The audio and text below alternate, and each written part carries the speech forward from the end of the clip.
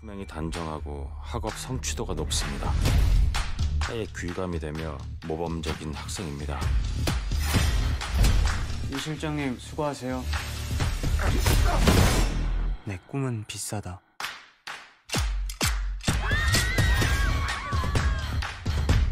가끔 졸라 토 나오거든요. 내 손냄새가요. 우리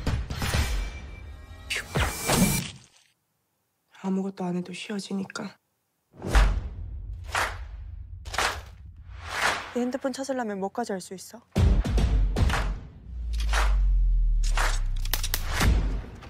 너 원하는 게 뭔데 도대체? 다시 모으면 되잖아. 네 사업으로.